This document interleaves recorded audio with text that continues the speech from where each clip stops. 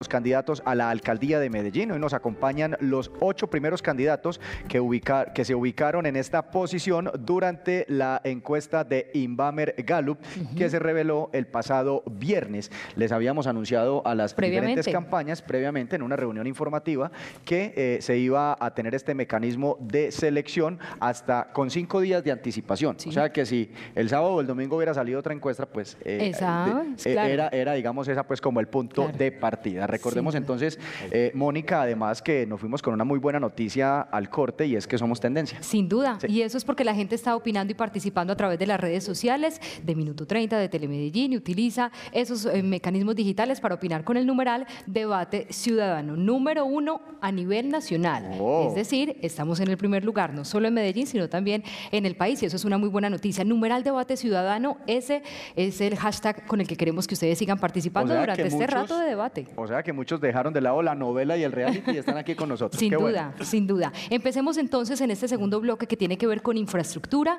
Para esta temática inicia entonces el candidato por el Centro Democrático, Alfredo Ramos. La pregunta puntual es, ¿en qué consiste su paquete de obras públicas para Medellín y cuáles dependen incluso de recursos con el gobierno nacional?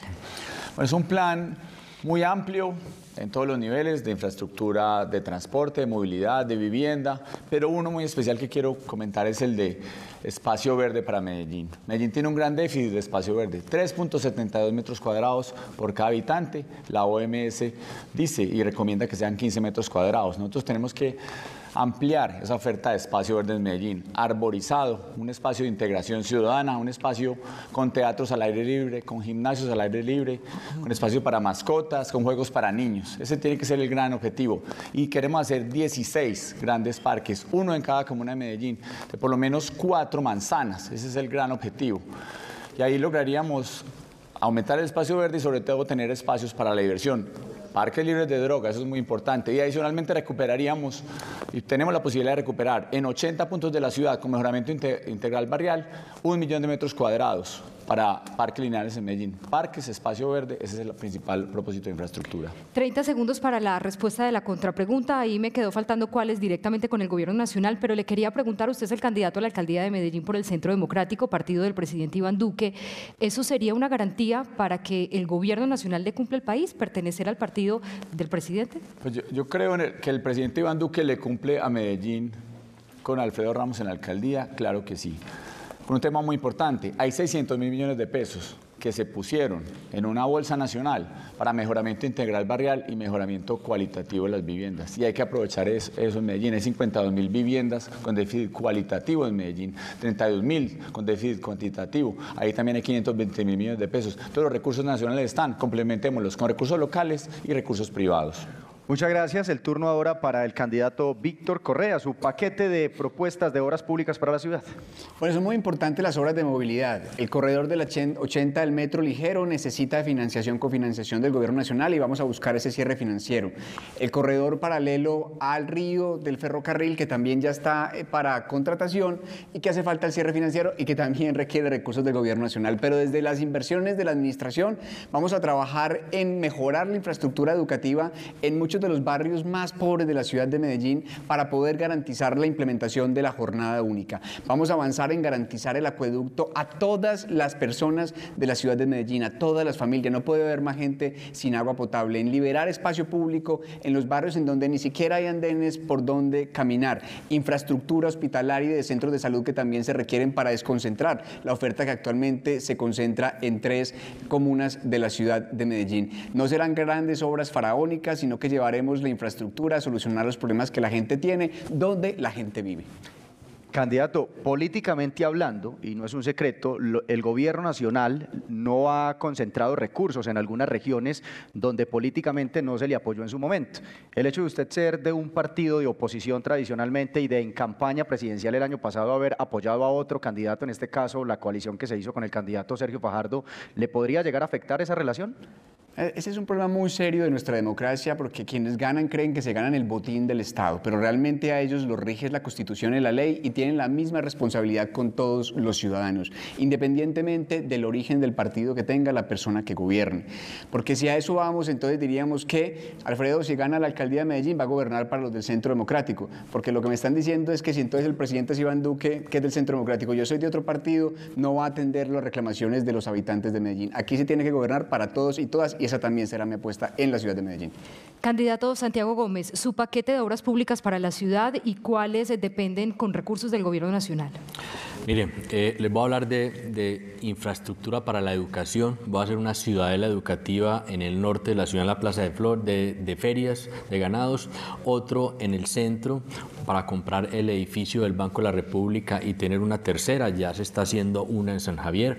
Además, obras públicas para la movilidad, intercambio eh, de la 80 con Colombia, Federico lo ha contratado, de la 80 con San Juan y deja los diseños listos, el de la 65 con la Iguana, el del Rincón Ecuatorial en la Mota y una solución vial en la 33 entre San Diego y el Río. Además, voy a hacer en el cincuentenario, donde hay dos canchas, una de gramilla y una de arena, un gran espacio para hacer eventos y, y conciertos y grandes eventos en la ciudad. Es el lugar adecuado porque está el metro cerca y no hay vivientes tan cerca. En cuanto al gobierno nacional, difícilmente llegan recursos a Medellín porque de los más de 1.200 municipios del país hay muchos con más necesidades que Medellín.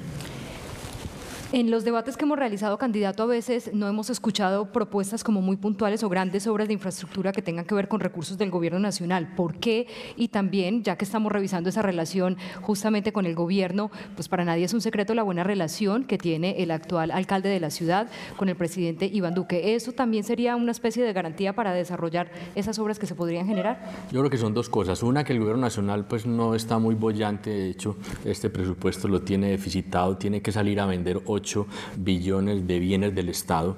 Y segundo, por lo que terminé diciendo, de los más de 1.200 municipios del, del país, hay muchos más necesitados que Medellín. Entonces el gobierno nacional realmente enfoca esos recursos a donde más se necesiten. Por eso eh, eh, hay que hacer las obras y contar con las que pueda hacer con recursos del municipio, no solamente con recursos de la nación. Muchas gracias. El turno ahora para el doctor Juan David Valderrama. ¿Qué va a hacer usted para la ciudad en temas de infraestructura? La primera apuesta a nuestra infraestructura, la estructura natural, el agua. El eje estructurante nuestro es el recurso hídrico, el río Aburrá y las quebradas nuestras afluentes. Arrancamos desde ahí para arrancar a construir nuestra sociedad. La primera obra nuestra más importante, terminar Ituango. Esa es la obra más importante de la alcaldía nuestra.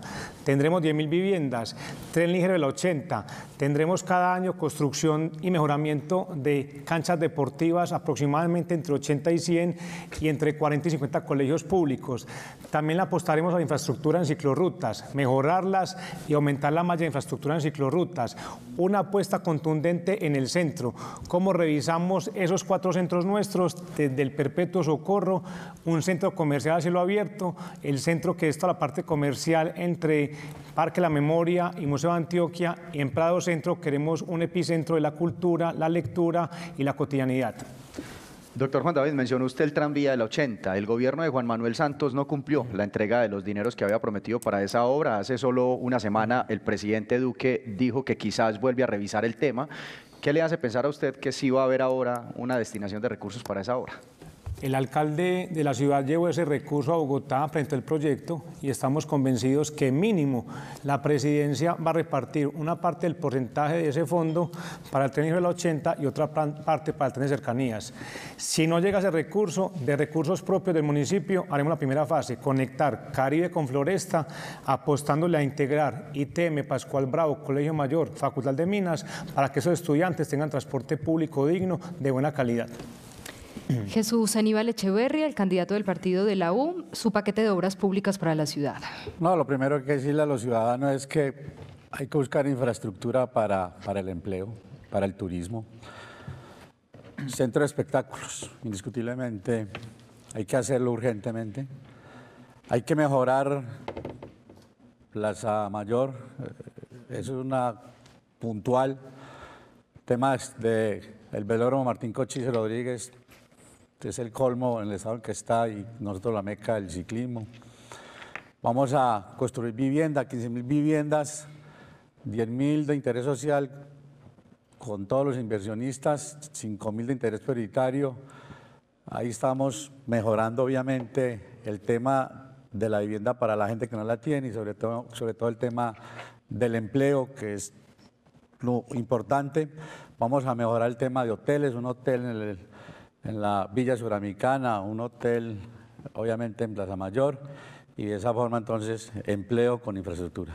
Me queda claro como escenarios de infraestructura muy enfocados en el tema eh, cultural, deportivo, también algo de vivienda y en el tema vial, alguna estrategia, obra puntual que tenga usted desarrollada dentro de su plan. Yo siempre he dicho que nosotros no podemos ser soñadores, más aún cuando esta ciudad tiene una deuda de 1.700.000 millones de pesos.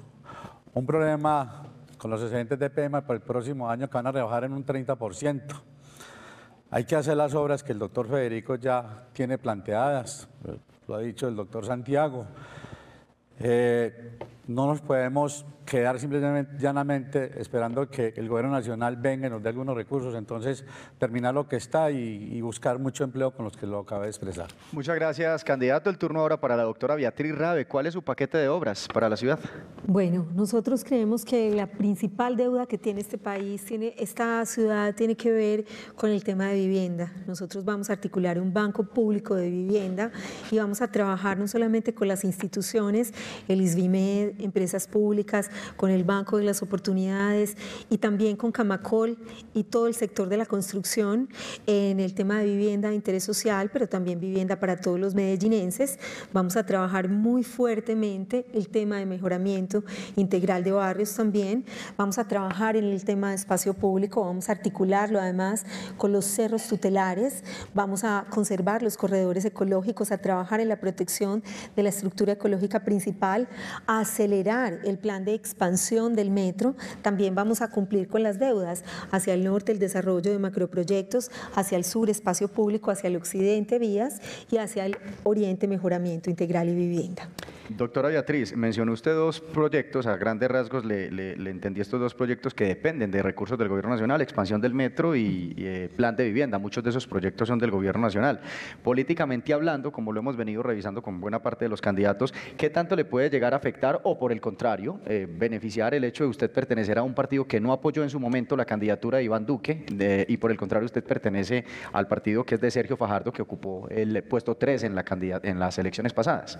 todo el respeto por la política, por el gobierno nacional. Yo he sido una líder de vivienda y he trabajado con todos los actores. La característica de nuestro trabajo que ha tenido...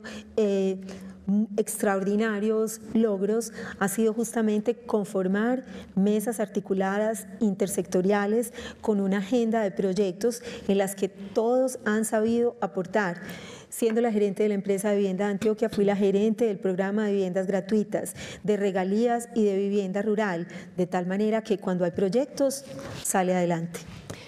Bien, la pregunta entonces ahora es para el candidato Juan Carlos Vélez sobre su paquete de obras para Medellín y cuáles dependen netamente de recursos del gobierno nacional.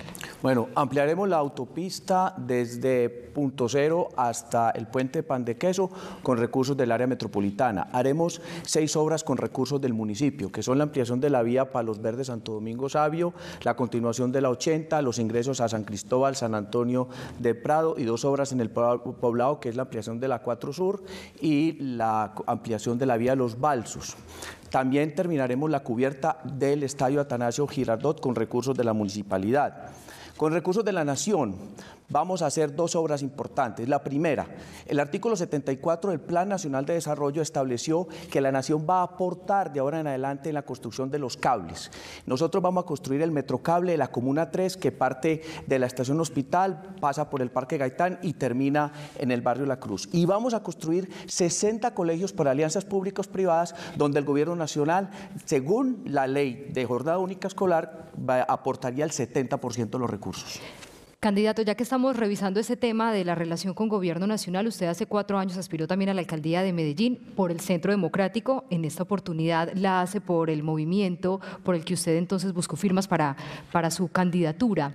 ¿Cómo es su relación con el gobierno nacional actual, entendiendo que ahora, digamos, se separa del Centro Democrático, ingresa ahora por firmas para llegar a la alcaldía de Medellín? ¿Qué tal esa relación y eso podría ser garantía de que esas obras que usted menciona se puedan desarrollar? Bastante bien es mi relación con el gobierno nacional porque yo trabajé en la campaña de Iván Duque y Marta Lucía Ramírez. Eh, tengo mucha relación con muchos ministros. Mi experiencia como senador de la República me ha permitido también tener relaciones con parlamentarios, con obviamente altos funcionarios del gobierno. E insisto, Trabajé en la campaña de Iván Duque, Marta Lucía Ramírez, voté por ellos y esa es la prenda de garantía para obtener los recursos que necesitamos para el municipio de Medellín. Gracias, candidato. El turno ahora para Daniel Quintero, su paquete de obras públicas para la ciudad. Bueno, lo primero sin duda es que yo no voy a hacer materas por toda la ciudad, eso de entrada, esa no es infraestructura para la ciudad y tampoco corredores verdes para que a la semana o a los dos meses los estemos tumbando como ocurrió. Pero además yo creo que Medellín tiene que emprender de nuevo grandes proyectos de ciudad. Eh, el metro ligero de la 80 o el tranvía, como lo quieran llamar, si nosotros decidimos no hacerlo, lo que hace el gobierno nacional es que borra esa plata que ya tiene destinada para Medellín. Nosotros no podemos atrevernos a decirle ahora al gobierno nacional que no nos interesa esa plata. Tenemos que seguirla pidiendo. Pero además, el tren de cercanía, la gran ciclorruta norte-sur. Yo le he dicho a la ciudad además, y la he venido seduciendo alrededor de una propuesta, y es la idea de que desde ya empecemos a pensar el metro subterráneo de la ciudad, que va a correr en unos 15 o 20 años en la ciudad, pero que desde ya tenemos que hacer factibilidad, prefactibilidad de ese metro, que sería el primero del país y que haría que Medellín siga avanzando y no se quede estancado.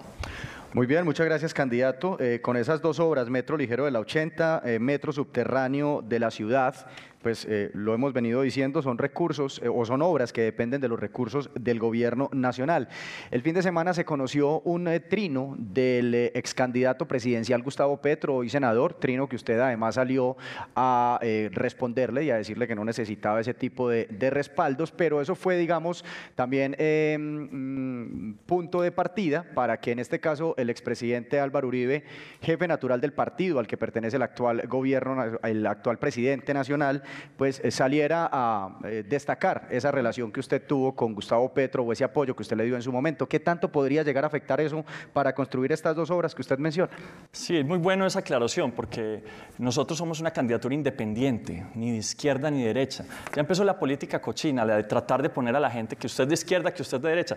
Si Medellín se mete en esa pelea, nos jodemos. Nosotros tenemos que hacer una política transparente, honesta contra la politiquería, contra la corrupción. Ahora le voy a dar un dato. ¿Alguna vez Duque preguntado sobre quién era el mejor funcionario del gobierno Santos, porque hice parte de ese gobierno, dijo Daniel Quintero, Impulsa. Bien, así digamos finalizamos la pregunta general para todos los candidatos en tema de infraestructura y es tiempo de revisar qué eligió, qué priorizó la ciudadanía en temas de infraestructura. Los invitamos a los candidatos a revisar la pantalla que tienen aquí en el estudio, infraestructura con el gobierno nacional y ahí las opciones que le ofrecíamos a todos los ciudadanos eran tranvía de la 80 o metro ligero por la 80, más cárceles, proyectos de vivienda y megacolegios. Ahí está la votación entonces y con un 35% la ciudadanía eligió más cárceles. Más cárceles, más cárceles. Eh, estuvo muy eh, pegado, muy cerquita relativamente el de tranvía de la 80, pero en este caso nos vamos entonces con más eh, cárceles. Comenzamos entonces la respuesta. Sí, la respuesta de un minuto y la empezamos entonces, en este caso con Víctor Correa, el candidato del Polo Democrático. Bueno, yo voy a quedar en este debate como el que regaña a la gente, pero es que verdad que me preocupa mucho, porque creo que eso es parte del efecto del populismo punitivo que hay en Colombia, que le han hecho creer a la gente que el derecho penal soluciona todos los problemas. Y si algo que no soluciona los problemas es precisamente el derecho penal. Hoy, por supuesto, tenemos una grave crisis carcelaria, están completamente congestionadas, no caben allí, pero es por varias razones, porque hemos enfocado el esfuerzo de la fuerza pública en atender delitos de bagatela. Eso está lleno de ladrones de bagatela y microtráfico, pero las grandes estructuras criminales no son realmente tocadas, porque no hemos entendido que detrás de la política criminal tiene que haber es una gran política social, que es la mejor apuesta para poder evitar que las cárceles estén llenos de gente que no debería estar ahí. Además de eso, yo le creo más a otra forma de justicia que repara a la gente. Una persona que le roban el celular, procesan a un ladrón y le cuesta al Estado 20, 30 o 40 veces más que el celular que le robaron. Yo no creo que la apuesta sea por construir más cárceles, sino por hacer un trabajo que permita evitar que el delito se cometa en la ciudad. Muy bien, el turno ahora para el candidato Santiago Gómez. Esto fue lo que opinó la gente, candidato. Mire, definitivamente en Medellín se necesita más infraestructura carcelaria. Hay un gran déficit. En las estaciones de policía ha llegado a haber hasta 1.200 personas en una situación eh, infrahumana y creo que es importante que haya unas cárceles adecuadas para tener todas estas personas eh, que han infringido la ley. Ya se está haciendo. Eh, hay un lote de 8 hectáreas que queda al lado de la cárcel de Pedregal en San Cristóbal. Federico ya está haciendo los diseños y estamos adelantando el proceso para hacer una alianza público-privada, que es como funciona en el tema de las cárceles en el mundo, y creo que próximamente se va a iniciar ese proceso. Vamos a tener otra cárcel, es como una, una segunda ampliación ahí de la cárcel de Pedregal. Candidato Juan David Valderrama, ¿qué le respondemos a esta prioridad que señaló la ciudadanía a través de sus propuestas? Triste situación en Medellín, hacinamiento en los diferentes espacios nuestros, como lo contábamos hay mucha gente por delitos menores conjuntamente con personas de delitos graves. Hay que separarlos. Ese espacio se necesita sin duda. Hay que tenerlo para que tengamos una capacidad de encontrar cómo esos personajes los podemos reconvertir a un ciudadano obviamente de bien. Nuestra apuesta, como decía al principio, en las oportunidades. La raíz de la gente que llega a las cárceles son jóvenes que no tienen oportunidades, un ingreso, una capacidad de educarse, de acceder al deporte, a la cultura, en un proyecto de vida, en emprendimiento, innovación. Tenemos que como sociedad apostarle a que los jóvenes de Medellín, sin importar su barrio de origen, tengan capacidad de desarrollarse, un proyecto de vida, para que puedan encontrar un ingreso digno y nunca encontrar en el mundo criminal una forma de vida que los seduzca y los lleve por este camino. La cárcel preventiva sí, pero a futuro necesitamos es oportunidades. Gracias, candidato. El turno para Jesús Aníbal Echeverry. Más cárceles, dice la gente. No, toda la razón el hacinamiento que existe hoy en las estaciones de policía y la pérdida de hombres que están cuidando estos estacionamientos, pues obviamente que mejora la seguridad de la ciudad de Medellín. Nosotros hemos pensado en construir una cárcel, pero una cárcel agroindustrial, la cual nosotros podamos autofinanciarla y que los reclusos allá, no solamente los reclusos que, que tienen que estar muchos años en estas cárceles, pues lo que venga se lo lleven a estas mujeres, a esa familia que quedan tiradas sin nada que comer ni nada que darle a sus hijos. Hoy se está adelantando un proyecto en Yarumal, esperamos que eso sea un hecho, para recibir 7 mil eh, reclusos allá y que de igual manera podamos nosotros entonces resolver este problema que es gravísimo y toda la razón. Vamos a construir cárceles, pero debidamente atendidas. Candidata Beatriz Rabe, la ciudadanía pide más cárceles en temas de infraestructura. Una política integral de seguridad supone trabajar en todos los frentes Efectivamente, hoy hay que atender la crisis carcelaria, hay que mejorar los lugares de reclusión, de reclusión y de privación de la libertad, porque la situación inhumana en la que se encuentran estas personas es crítica. Sin embargo, en lo que tenemos que trabajar más fuertemente es también en todos los procesos de resocialización y de construcción de capital social, que no, no tengan que llegar las personas a las cárceles, que tengan mejores oportunidades, que tengan posibilidad de generar ingresos en todos los lugares en donde no está fuerte la presencia del Estado, no tiene presencia territorial, siempre está el riesgo de que la ilegalidad se tome esos lugares y le ofrezca a las personas pues unos caminos que son diferentes a los de la legalidad. Muchas gracias, candidata. El turno ahora para el doctor Juan Carlos Vélez. Más cárceles pide la gente la, manutención de los indicados le corresponde al municipio, de los condenados al IMPEC. Hoy en día tenemos 1.800 personas hacinadas entre estaciones de policía y calabozos de la Fiscalía. Por eso es importante construir una cárcel para estas personas, no solamente porque hay que aplicar justicia, sino porque es que es cuestión de derechos humanos. El hacinamiento es impresionante. el municipio viene trabajando un proyecto de alianza pública-privada que vale 106 mil millones de pesos para albergar 1.321 presos en una concesión de 30 años ese proyecto, si no se completa ahora ni si no se termina, yo me comprometo el año entrante a continuarlo. Medellín lo necesita, porque es que el argumento de muchos jueces y de muchos fiscales hoy es liberar a los, a los presos, que porque no hay dónde alojarlos, dónde tenerlos, y por eso también se genera impunidad en Medellín. Entonces, sí a la cárcel para esos sindicados que tiene el municipio de Medellín a su cargo. Candidato Daniel Quintero, ¿qué le respondemos a los ciudadanos sobre más cárceles? Bueno, lo primero es que hay que reconocer no solo que se necesitan más cárceles, sino que hoy las cárceles que tenemos son escuelas del delito, son universidades del delito. Eso hay que transformarlo.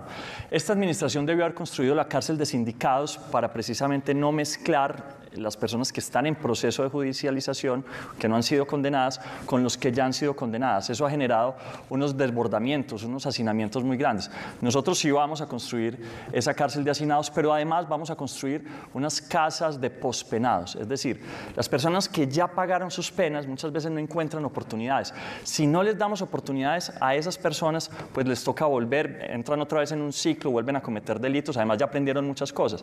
Ahí hay que hacer todo un proceso para resocializarlo, esa sí es de verdad una oportunidad para reducir los delitos en la ciudad de Medellín.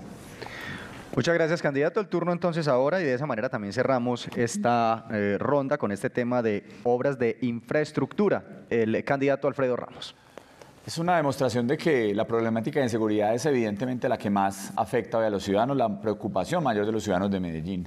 Nosotros tenemos que trabajar en varios sentidos. Para mí lo más importante es evitar que las personas entren al crimen. Ojalá las cárceles estén vacías, pero no porque los jueces den impunidad, sino porque no hay personas, no sea un incentivo delinquir en Medellín. Tenemos que trabajar por eso.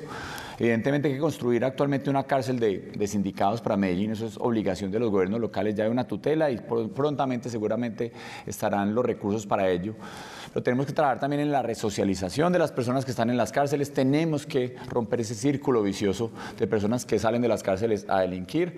El 20% terminan nuevamente siendo reincidentes. Un punto fundamental dentro del tema de infraestructura. Hay que avanzar en el plan de expansión del metro. Hay que, construir el tren, ligero de la 80, el tren de cercanías, es solamente dos, dos metrocables sociales, uno a Llanaditas y uno a La Cruz. Son muy importantes para la integración comunitaria en Medellín. Gracias al candidato Alfredo Ramos. Son las 8 de la noche, 38 minutos. Estamos en este nuevo debate con candidatos a la alcaldía de Medellín, una alianza del canal Tele Medellín y de Minuto 30.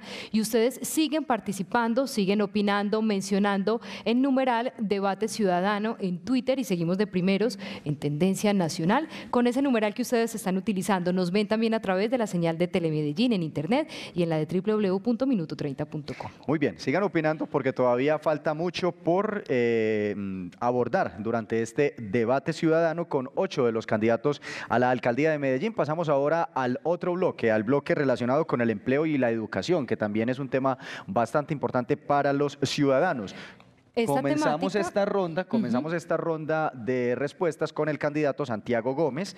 Y la primera pregunta o la pregunta mejor de manera general para todos los candidatos es ¿en qué consiste, doctor Santiago, su plan de generación de empleo y de educación para Medellín? Miren, educación, el gran déficit en Medellín es la educación superior. Solamente 4 de cada 10 jóvenes pueden acceder a educación superior. Por eso va a tener 50 mil becas para que los jóvenes puedan estudiar más técnicas, tecnologías y carreras profesionales. Y en empleo, el tema de la construcción. Hace 10 años el 82% de los proyectos inmobiliarios estaban en Medellín, hoy solo el 18%. Hay que volver a traer la construcción a Medellín. Hay que comprar suelo en Medellín y permitir que se desarrollen mucho. Y voy a tener tres nuevos ruta Ns para con la cuarta revolución de hacer más eh, empleo de conocimiento. Un ruta N2 en el Chagualo, que ya están los lotes y ya se va a empezar a construir para ciencia y tecnología. Un ruta N3 en el Perpetuo Socorro, que sería para arquitectura, comunicación, diseño, música, cocina. Y un ruta N4 en Prado, en las casas que ya tiene el municipio, para artistas plásticos, para escultores, para pintores Con eso vamos a generar empleo en Medellín. Bien, gracias al candidato Santiago Gómez y ahora el turno es para Juan David Valderrama. ¿Cuál es su plan de generación de empleo puntual y en educación también para la ciudad? Educación integral desde buen comienzo. Una apuesta por buen comienzo con más cobertura, con un bilingüismo desde la primera infancia, jornada complementaria en deporte y cultura. En, la parte de noveno, décimo y once, colegios públicos con oficios para apostarle a que los jóvenes tengan rápidamente ingresos, que tengan una, una habilidad rápidamente para mitigar el tema de los ingresos, que es la variable que los lleva al mundo de la criminalidad. Una apuesta grande con el Ruta N, un ecosistema nuestro emprendimiento, innovación, tecnología y ciencia, donde Medellín va a demandar con la cuarta revolución 20.000 empleos anuales a partir del 2020. ¿Cómo vamos a captar todos estos muchachos jóvenes de Medellín, adultos mayores que se quieran reconvertir en trabajo a la tecnología? Cursos masivos nuestros de 6, 8 meses, donde la tecnología sea una herramienta para transformar en empleos dignos. Jóvenes, la alcaldía nuestra va a crear 5.000 empleos en cuatro años para los jóvenes de Medellín. Doctor Jesús Aníbal, ¿cómo va usted a generar empleo y a mejorar la educación en la ciudad? Tema de educación superior. Definitivamente en la ciudad de Medellín se gradúan 22 mil jóvenes cada año, de los cuales 17 mil son de colegios públicos. De cada 10 jóvenes solamente pueden acceder a la universidad 3. Por eso vamos a tratar y al máximo de que ningún estudiante se quede sin educación superior que siga su ciclo de la media técnica y por eso todos los estudiantes que se gradúen en el grado 11 van a tener entonces técnica y tecnologías. Obviamente, escuelas del bilingüismo para adelantar el tema del turismo y fortalecer los maestros en el tema de posgrados y maestrías. En el tema de empleo, vamos a hacer un recambio con la Secretaría de Turismo, la Subsecretaría de Turismo en Secretaría de Turismo, porque de cada siete turistas que llegan a la ciudad de Medellín, generan un empleo Vamos a trabajar fuertemente en eso. Distrito Especial Textil Nacional e Internacional nos va a ayudar mucho. Y de igual manera, que Ruta N salga donde está y vaya a las escuelas, a los colegios, a las universidades. Bien, candidata Beatriz Elena Rabe, ¿cómo es ese plan suyo para generar mayor empleo y mayor educación en Medellín? Bueno, nosotros eh, proponemos educación para toda la vida con pertinencia y con vocación territorial. Yo he sido profesora por más de 25 años, conozco todo el ciclo porque he sido profesora desde secundaria hasta posgrado. Creo que hay que fortalecer también todo el ciclo, desde buen comienzo, o sea, eh, desde los niños, tener eh, un programa, una ruta de acompañamiento para que asistan al colegio y garantizar que todos los niños de Medellín asisten al colegio. Flexibilidad también para que sus madres logren hacerlo, madres mejores educadas garantizan que también hijos y familias van a estar mejor educados. Jornada única complementaria, fortalecer toda la formación técnica, eh, también la formación tecnológica, fortalecer los distritos, mejorar los servicios de empleo y también la orientación eh, vocacional para orientar a la gente a formación más pertinente. Muy bien, muchas gracias, doctora Beatriz. El turno ahora para Juan Carlos Vélez. ¿Cómo va a mejorar empleo y cómo va a mejorar la seguridad? La educación, perdón. Bueno, e, educación. Tres cosas. Jornada única escolar para pasar de 30 mil niños de hoy a 300 mil niños en cuatro años. Con desayuno, con almuerzo, con doble titulación, formación deportiva y formación cultural, además del bilingüismo. Segundo, 50 mil becas virtuales para irnos acomodando y ajustando a la cuarta revolución industrial y la construcción de la Universidad de la Ciencia, la Tecnología y la Innovación que estará ubicada en la Feria de Ganados. Y en cuanto a empleo, tenemos un proyecto de empleo social de emergencia que es continuar el programa Parceros, actual de la Administración Municipal, y el programa Parce que lo tuvo Mi Río.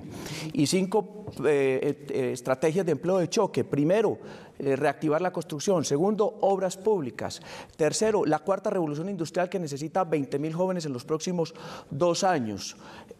Cuarto, la confección y la marconería. Y por último, el turismo, donde crearemos 50 mil empleos, llegando a dos millones de turistas en Medellín. Perfecto. Al candidato Daniel Quintero, un minuto para escuchar su plan de generación, tanto de educación como de empleo. Bueno, yo lo primero que quisiera contarles es que yo estoy aquí porque un día me tocó renunciar a mis sueños de estudiar por falta de plata. Desde Ese día yo he luchado todos los días de mi vida para que eso no le pase a otros. Yo quiero una Medellín en la que ningún niño tenga que renunciar a sus estudios porque no tiene plata, porque no tiene para los pasajes. Y eso es un reto para la ciudad, como lo es el empleo. Hoy tenemos un desempleo que es el más alto en la última década. Si para trabajar somos buenos, si, si hay gente buena para trabajar, esos somos los países. Nosotros tenemos una estrategia de desarrollo económico que hemos llamado Medellín Valle del Software, que en sí mismo es toda una transformación curricular que va a permitir crear muchas empresas BPO que además son de altos salarios. Cada empleo BPO genera cuatro empleos adicionales. Es de lo que hablaba Juan Carlos en relación a empleos en el sector de la tecnología, de desarrollo de software. Ahí vamos a crear 40 mil empleos en los próximos cuatro años. Sabemos cómo hacerlo, es lo que he hecho los últimos años de mi vida y es lo que necesita Medellín en este momento. Gracias, candidato. El turno ahora para el eh, candidato Alfredo Ramos. Nosotros somos apasionados por la educación. Queremos una educación innovadora para el siglo XXI, no para el siglo XX. Una educación para generar emprendimientos, para generar empresas, para que el talento, el mérito y las ideas de los jóvenes sean las que generen las empresas del futuro. No queremos diplomas colgados en la pared, decorando paredes sin ningún tipo de validez. Entonces tenemos que empezar a juntar y a unir la educación con la vocación económica de la ciudad. Hay un punto muy importante. Eso requiere nuevas competencias. Nosotros tenemos que reforzar inglés, tenemos que reforzar programación, música como un gran generador de cultura e integración además. Tenemos que fortalecer competencias actuales, tenemos que ser más investigadores, fortalecer matemáticas, aumentar la oferta de educación superior. Nosotros en Medellín tenemos una gran posibilidad de generar a través de la cuarta revolución industrial muchos nuevos cupos de, en nuestras universidades. Hay que fortalecer la Universidad de Antioquia, también debería apostar el, municipio de Medellín a ello. Y por último, una oferta de emprendimiento con recursos y con nuevas instituciones. Gracias al candidato y ahora vamos con Víctor Correa, el candidato del Polo Democrático. Con él finalizamos esta ronda de esta pregunta que tiene que ver con el plan de generación de empleo y educación para Medellín. El Polo Democrático es un partido que ha defendido al empresariado nacional, la producción nacional, la generación de riquezas en manos de nuestra gente y eso voy a hacer desde la alcaldía de Medellín, a pesar del abandono del gobierno nacional y de las malas políticas que han quebrado a nuestros empresarios e industriales. Recuperaremos la vocación industrial de Medellín, impulsaremos el ecosistema de innovación, generaremos un sistema municipal de emprendimiento que posibilite el aumento de las pequeñas y medianas empresas que son las que mayor empleo generan en manos de las gentes más humildes de nuestra ciudad. Para la ruralidad, el distrito rural y campesino para propiciar la economía campesina y la agricultura familiar. En educación, fortalecer la infraestructura educativa para la implementación de la jornada única. Hacer un convenio con la Universidad de Antioquia para aumento de cobertura con financiación a base presupuestal, que es la universidad que más absorbe la oferta de la ciudad de Medellín. Y trabajar en fortalecer nuestras instituciones, el ITM, el Colegio Mayor y el Pascual Bravo. Muchas gracias, candidato. en este tema, en este bloque de empleo y educación, también, por supuesto, le preguntamos a los ciudadanos, a los habitantes de Medellín, a través de la plataforma digital que se dispuso durante las últimas 36 horas, en qué temas querían que priorizaran los candidatos a la alcaldía de Medellín. Y este es el resultado. Los invitamos a observar la pantalla. Se les preguntó por aumentar créditos en el Banco de las Oportunidades, más apoyo a unidades de negocios a través de los EDESOS, más acceso a cupos para educación superior y combatir la deserción escolar. Mónica. Pues mire, mire el porcentaje, 48%. Sin duda la ciudadanía eso es lo que reclama, más acceso a cupos para la educación superior. Sobre ese tema entonces empezamos la respuesta de un minuto con el candidato Juan David Valderrama, lo escuchamos.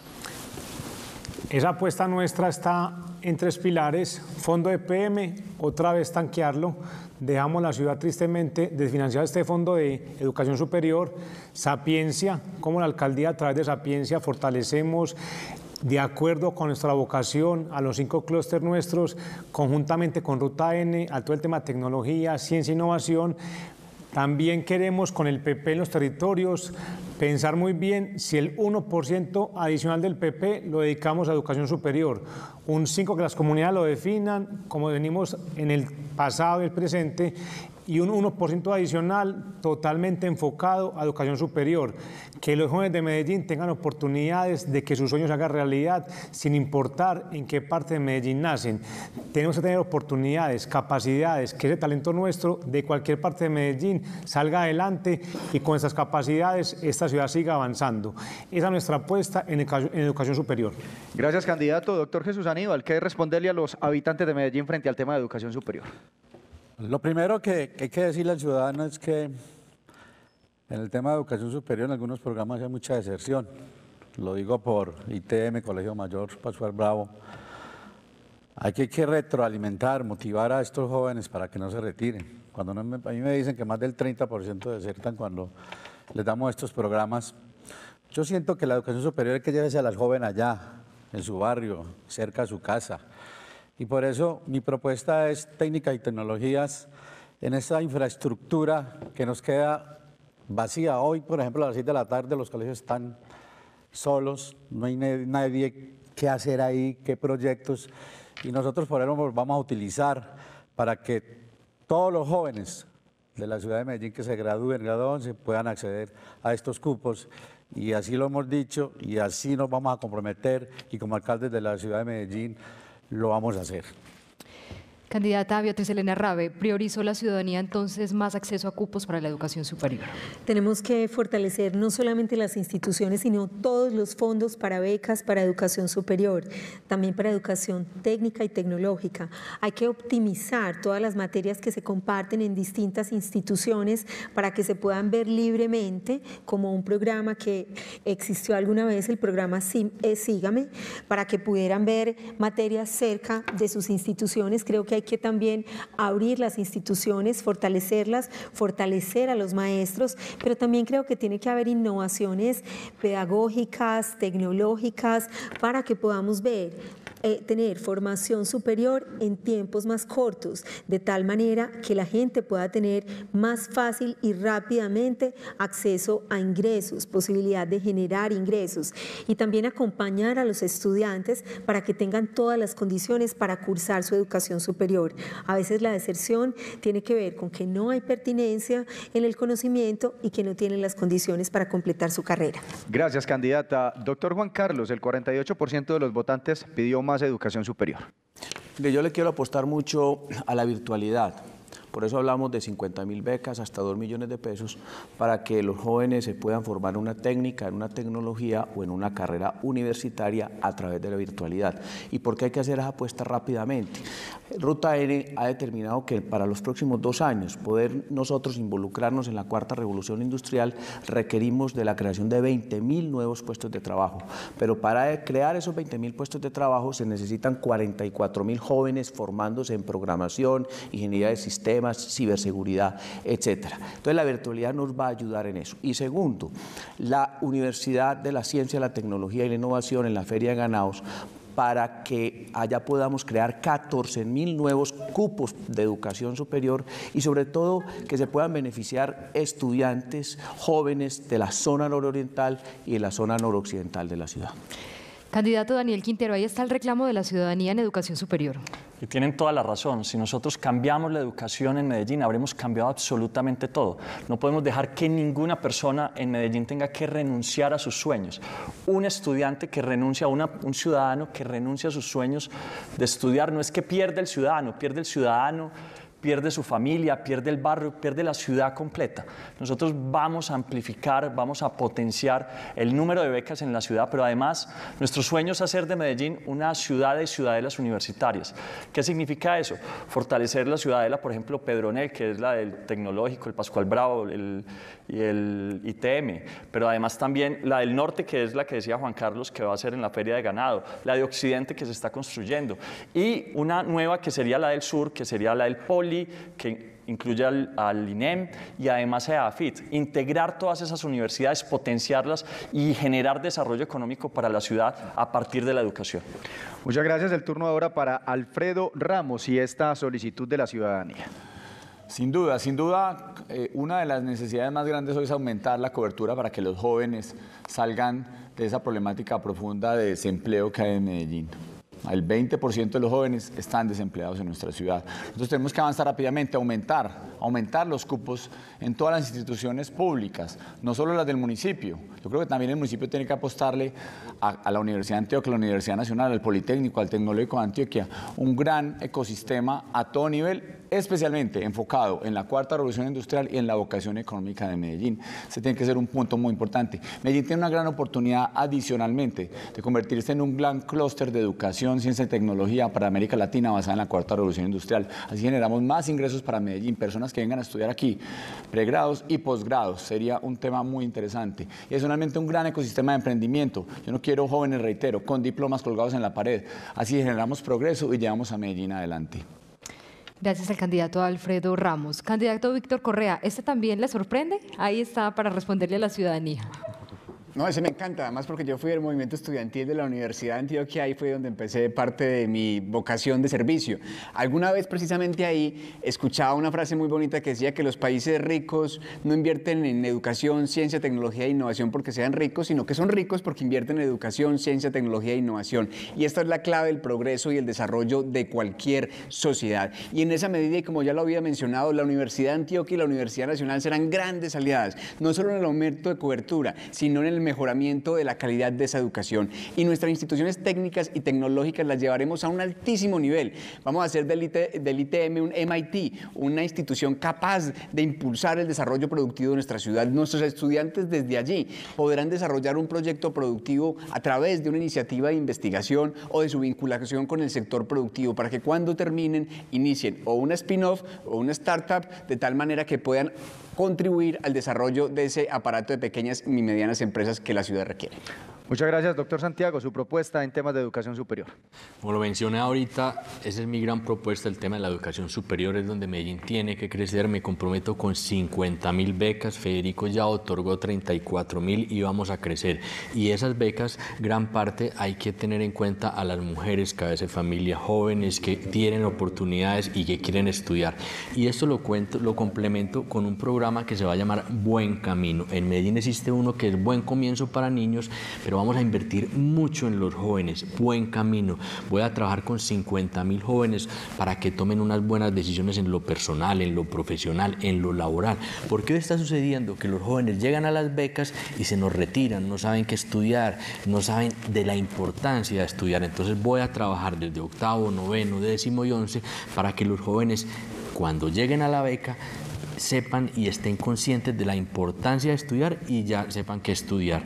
Buen camino y 50 mil becas porque el futuro se estudia. Gracias al candidato Santiago Gómez. Con esta respuesta finalizamos este bloque que tiene que ver con educación. Gracias también a los ciudadanos que estuvieron votando durante las últimas 36 horas en el portal, que eligieron y que dijeron, quiero que los candidatos me respondan estas preguntas. Pues ese es el escenario. Nosotros vamos a hacer una pausa, pero todavía nos quedan varias temáticas. Por ejemplo, vamos a hablar de movilidad y medio ambiente, EPM e Hidroituango. Y ustedes también pueden seguir participando. Y ¿Qué nos cantidad? con esa buena noticia. Además, seguimos siendo tendencia número uno a nivel nacional con el hashtag debate ciudadano. Eso quiere decir que los habitantes de Medellín y de muchas partes del departamento además también están interesados en conocer las propuestas de los candidatos. No se despeguen, no nos demoramos, ya volvemos, continúen con nosotros.